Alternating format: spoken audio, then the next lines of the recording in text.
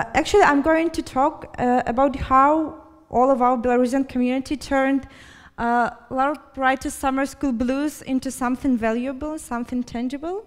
And I'll start with the moment uh, which happened around three years ago in the summer of uh, 2013 when I was, uh, oh no, I'm sorry, when I was boarding a train in Vilnius to come back home to Minsk after the summer school 2013. And the next few weeks were really very harsh. I think lots of people in this audience can, can relate to this.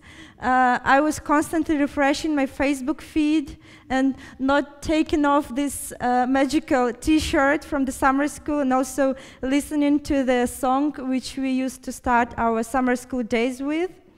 Uh, yeah, but uh, actually, these are the people who know this very well. yeah, this bunch knows it very well. And after some time, uh, we all realized that besides these uh, precious memories and uh, a lot of new cool friends, we were given, uh, we were also given a toolbox. Yeah, something like this. A toolbox that will keep us all together and also will help us to um, to transform the energy and the inspiration from the summer school into something even more valuable. Uh, so we get back to Minsk and then we decided that we need to do something. But uh, actually we didn't know exactly what to do because at that point uh, very few people from Belarusian LARP community actually had designed or organized any LARPs before going to summer school or uh, very few of them even was involved in LARPing before, before going to summer school. So after some time, actually, we decided that we need a Minsk LARP festival uh, to know, to, to let people know that we do cool stuff in Minsk, but uh, mainly to set up the date, the deadline for Belarusian LARP writers to encourage them to create LARPs after the summer school. Yeah, uh, this is the picture from one of the first festivals. Actually, the first two of them were kind of amateur. I think Actually, the first one was planned uh, in the kitchen of one of the organizers around three weeks before the festival itself. yeah, but actually, uh, we were given uh, this is the modern uh, art uh, museum and Minsk Modern Art Gallery, and they were too, like very kind and, and uh, very kind and gave us the um, place to run the LARPs there. And during the first festivals, Actually, it was free of charge, they were free of charge. And we had this problem, we didn't have enough participants because not so many people knew about LARPing at that time. Also, uh, by that time, Belarusian LARPers hadn't created enough LARPs to fill in the program, so we uh, invited some Russian freeforms to be included into the problem. And that made Minsk LARP Festival a good meeting point for the Nordic LARPers and uh, LARPers from the Russian tradition to meet there, discuss ideas, and get inspired by each other. Yeah, so now we feel that the two first festivals, this is one of them, they are uh, a good base for, and they were good base to make something even bigger and more courageous.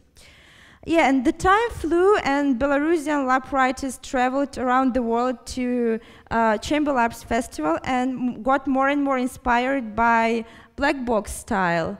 Uh, yeah, this is actually the picture from the this year's festival, the third LARP festival in Minsk. Yeah, so we ended up producing some black box LARPs by ourselves, Probably you may have heard such names as Have You Come Here to Play Jesus, Inside I'm a Puppy, Bring Your Own Bottle, or The Helianthus Land. Yeah, uh, among them.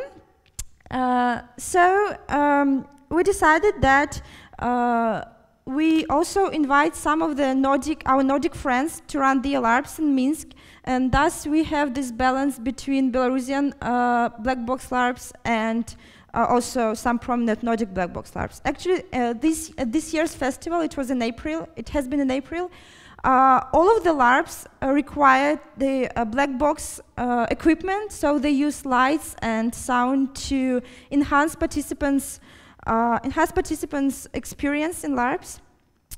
Yeah, this is one of them, I think.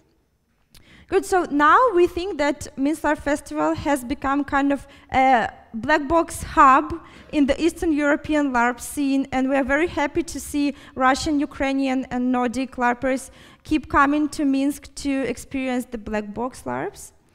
Uh, yeah, actually now we think that uh, Minsk Festival has become a good tradition, and we feel that we made made it more more even more professional. Uh, this year was the first year when we felt brave enough to sell the tickets for the festival, and actually they were sold out in within several days.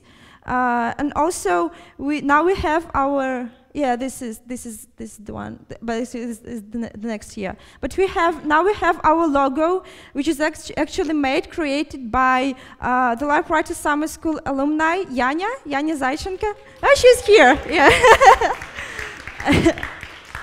so we think that this will help will help us to be more uh, noticeable and more uh, known in the LARP scene.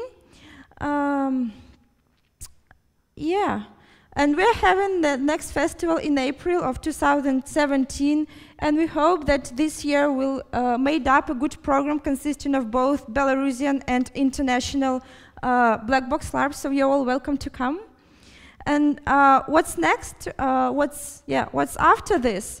Uh, as I said in the beginning, uh, almost none of the Belarusians were playing LARPs before going to summer school.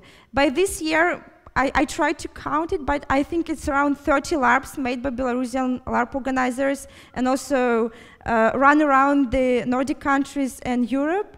And, uh, but still, we do not do it as our career choice. We still keep our jobs and um, studies. Yeah, and I really hope that all this experience piled up in, in these years will help us to take our hobby to the next level. Yeah, thank you.